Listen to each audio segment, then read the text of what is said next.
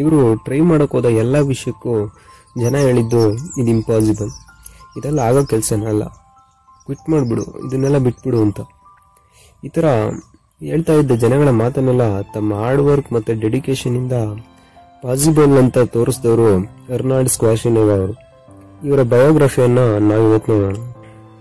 Arnold ಅವರು ಹುಟ್ಟಿದ್ದು ಮೂವತ್ತು ಜುಲೈ ಸಾವಿರದ ಒಂಬೈನೂರ ನಲವತ್ತೇಳರಲ್ಲಿ. ಆಸ್ಟ್ರಿಯಾದ ಥಲ್ಸ್ಟಿರಿಯೋ ಅನ್ನೋ ಪ್ರದೇಶದಲ್ಲಿ. ಇವರ ತಂದೆ ಪೊಲೀಸ್ ಆಫೀಸರ್ ಆಗಿದ್ರು. ಹಿಟ್ಲರ್ನ ನಾಜಿಯ ಆರ್ಮಿಲೂ ಸಹ ಇವರು ವರ್ಕ್ ಮಾಡಿದ್ರು. ಇವರು ತಮ್ಮ ಮಕ್ಕಳನ್ನ ತುಂಬಾ ಸ್ಟ್ರಿಕ್ಟಾಗಿ ಬೆಳೆಸಿದ್ರು.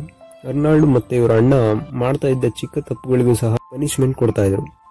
ಮತ್ತೆ ಇವರ ಮಕ್ಕಳನ್ನ ಸಾಕರ್ ಗೇಮ್ ನೀವು ಆಡಲೇಬೇಕು ಅಂತ ಆರ್ಡರ್ ಸಹ ಮಾಡಿದ್ರು. ಆ ಗೇಮ್ನ ಆಡಲಿಲ್ಲ ಅಂದ್ರೆ ಹೊಡಿತಾ ಇದ್ರು. ಅರ್ನಾಲ್ಡ್ನ ಒಬ್ಬ ಪೊಲೀಸ್ ಆಫೀಸರ್ ಮಾಡಬೇಕು ಅನ್ನೋದು ಇವರ ತಂದೆಯ ಆಸೆ ಆಗಿರುತ್ತೆ. ಅರ್ನಾಲ್ಡ್ ತನ್ನ ಹತ್ತನೇ ವಯಸ್ಸಿನ ತನಕ ತಮ್ಮ ತಂದೆ ಹೇಳಿದಂತಹ ಸ್ಪೋರ್ಟ್ಸ್ನ ಚೆನ್ನಾಗಿ ಆಡ್ತಾ ಇರ್ತಾರೆ. ಅವಾಗ ಅವರ ಸ್ಟಾಮಿನಾ ಮತ್ತೆ ನ ಇಂಪ್ರೂವ್ ಮಾಡೋಕ್ಕೋಸ್ಕರ ಅವರನ್ನ ಜಿಮ್ಮಿಗೆ ಇಂಟ್ರೊಡ್ಯೂಸ್ ಮಾಡ್ತಾರೆ.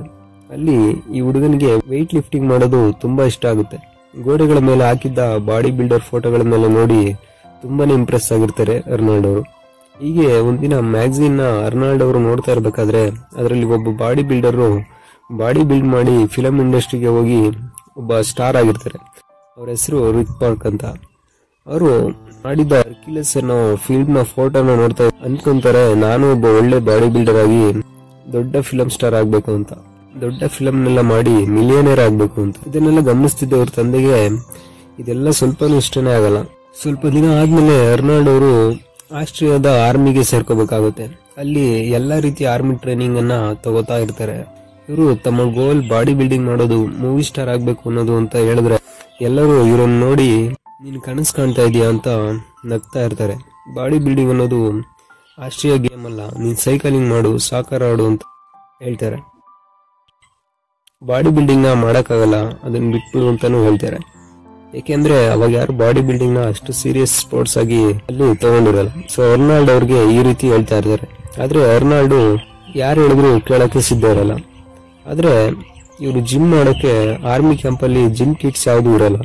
ಮತ್ತೆ ಟೈಮು ಸಹ ಇರಲ್ಲ.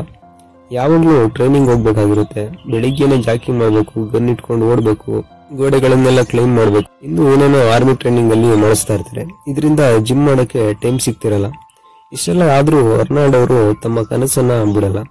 ಆರ್ಮಿ ಕ್ಯಾಂಪ್ ಅಲ್ಲಿ ಸಿಗುವಂತ ವಸ್ತುಗಳನ್ನೆಲ್ಲ ಬಳಸಿ ಎಕ್ಸರ್ಸೈಸ್ ಮಾಡಕ್ಕೆ ಸ್ಟಾರ್ಟ್ ಮಾಡ್ತಾರೆ ಬೆಳಿಗ್ಗೆ ಬೇಗನೆ ಎದ್ದು ಪುಷಪ್ಸ್ ಎಲ್ಲ ಮಾಡಿ ಆರ್ಮಿ ಟ್ರೈನಿಂಗ್ ಹೋಗ್ತಾ ಇರ್ತಾರೆ.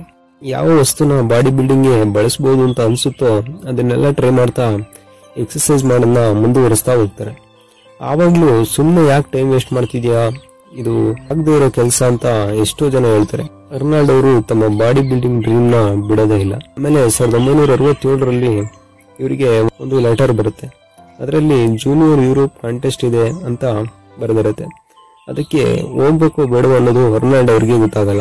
ಎಲ್ಲ ಹೇಳ್ತಿರೋ ಹಾಗೆ ಇದೆಲ್ಲ ಕನಸಿರ್ಬೋದಾ ಇಂಪಾಸಿಬಲ್ ಇರ್ಬೋದಾ ಅಂತ ಯೋಚನೆ ಮಾಡ್ತಾರೆ.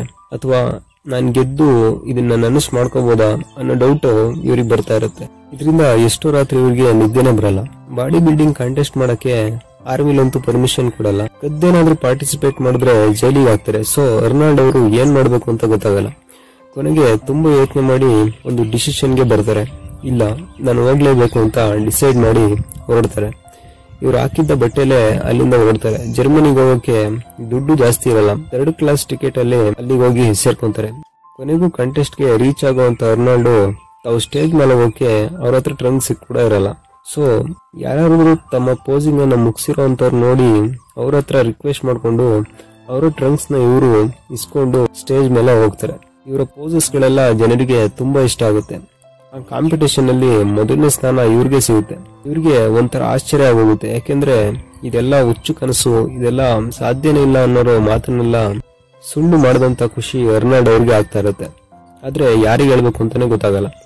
ತಾವು ಮತ್ತೆ ಆರ್ಮಿ ಕ್ಯಾಂಪಿಗೆ ಯಾರಿಗೂ ಗೊತ್ತಾಗದೆ ಬೆಳಗಿನ ಟ್ರೈನಿಂಗ್ ಅಲ್ಲಿ ಸೇರ್ಕೊಂಡ್ಬೋಣ ಅಂತ ಅನ್ಕೊಂತಾರೆ. ಆದ್ರೆ ಇಷ್ಟು ದಿನ ಇಲ್ಲದೆ ಇರೋದ್ರಿಂದ ಎಲ್ಲರಿಗೂ ಗೊತ್ತಾಗೇ ಆಗುತ್ತೆ. ಅರ್ನಾಲ್ಡು ರೂಲ್ ಬ್ರೇಕ್ ಮಾಡೋದ್ರಿಂದ ಜೈಲಿಗೆ ಹಾಕ್ತಾರೆ. ಅಲ್ಲಿ ಒಂದು ಬೆಂಚು, ಒಂದು ಬ್ಲಾಂಕೆಟ್ ಮತ್ತೆ ಕಡಿಮೆ ಊಟ ಕೊಡ್ತಾ ಇರ್ತಾರೆ. ಒಂದು ವಾರ ಆದ್ಮೇಲೆ ರೂಲ್ಸ್ಗಳನ್ನೆಲ್ಲ Arnold junior Europe title win ಆಗಿದ್ದು ಗೊತ್ತಾಗುತ್ತೆ. ಅರ್ನಾಲ್ಡು ಆಫೀಸ್ಗೆ ಕರೆಸಿ ಕೇಳ್ತಾರೆ ಆ ಕಾಂಪಿಟೇಷನ್ ಗೆದ್ದಿದ್ರ ಬಗ್ಗೆ. ಅರ್ನಾಲ್ಡು ಆರ್ಮಿಯಲ್ಲಿ ಕೊಡೋ ಟ್ರೈನಿಂಗಿಗೆ ಈ ಕ್ರೆಡಿಟ್ ಅನ್ನ ಕೊಡ್ತಾರೆ. ಮೊದಲೇ ಆರ್ಮಿಯಲ್ಲಿ ಡಿಸಿಪ್ಲಿನ್ ಅಂದ್ರೆ ಎಲ್ಲರಿಗೂ ಇಷ್ಟ. ಸೊ ಅರ್ನಾಲ್ಡ್ನ ಆರ್ಮಿ ಕ್ಯಾಂಪ್ ಟ್ರೈನಿಂಗ್ ಅಲ್ಲಿ ಒಬ್ಬ ಎಕ್ಸಾಂಪಲ್ ಆಗಿ ಬೆಳೆಸ್ಕೊಂತಾರೆ. ನೋಡಿ, ಅರ್ನಾಲ್ಡು ಹೇಗೆ ತನ್ನ ಗುರಿ ಮುಟ್ಟಕ್ಕೆ ಕಷ್ಟಪಟ್ಟು ತನ್ನ ಗೋಲ್ ಮೇಲೆ ವರ್ಕ್ ಮಾಡಿದಾನೆ.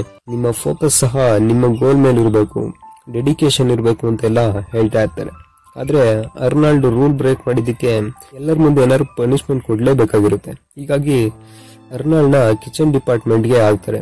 ಅದು ಅರ್ನಾಲ್ಡ್ಗೆ ಒಂಥರ ಹೆಲ್ಪೇ ಆಗುತ್ತೆ.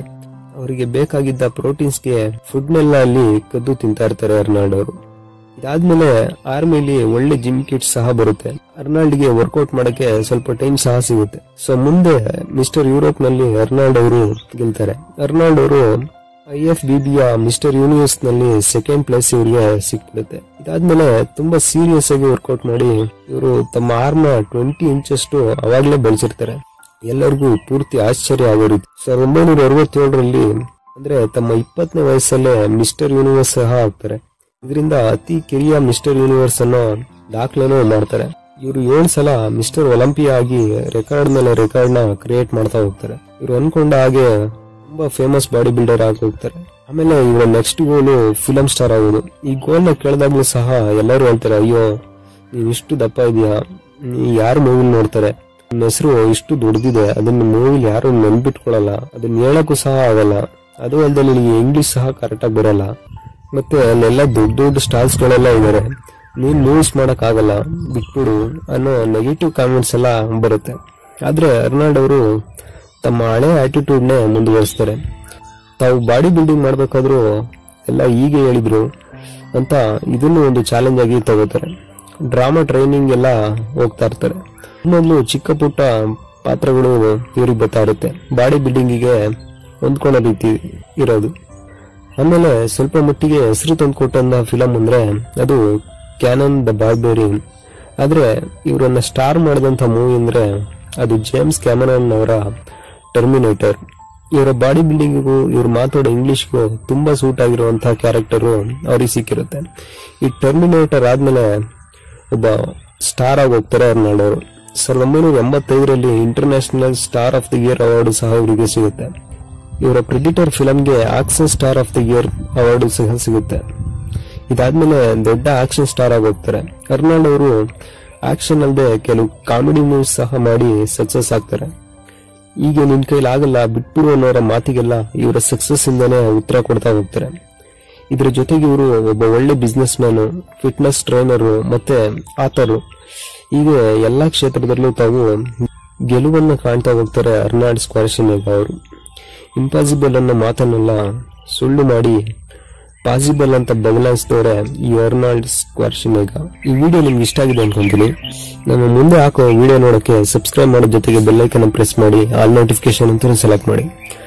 ಈ ವಿಡಿಯೋ ನೋಡೋಕ್ಕೆ ಧನ್ಯವಾದ.